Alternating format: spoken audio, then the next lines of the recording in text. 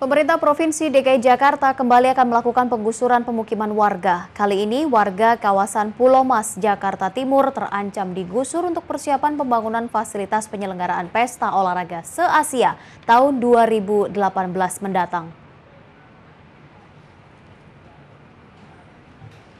Ratusan rumah yang terletak di kawasan Pacuan Kuda, Pulau Mas, Jakarta Timur akan dirobohkan oleh pemerintah terkait rencana pembangunan fasilitas penunjang pesta olahraga Asian Games tahun 2018 mendatang.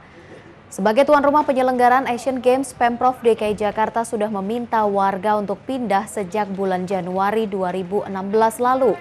Surat peringatan pun sudah tiga kali diterima warga dengan mendapatkan ganti rugi untuk tinggal di rumah susun Pinus Elok di Pulau Gebang, Jakarta Timur. Namun warga menolak karena rusun Pinus Elok yang disediakan tidak layak huni.